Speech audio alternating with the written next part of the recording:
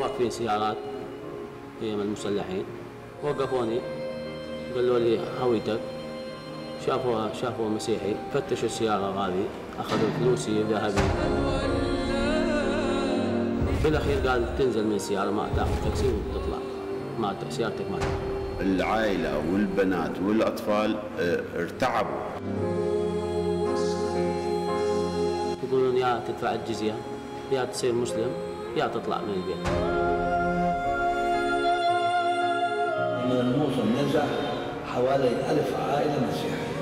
كنا شعب واحد 12 يوم عمر. مسيحيين اخواننا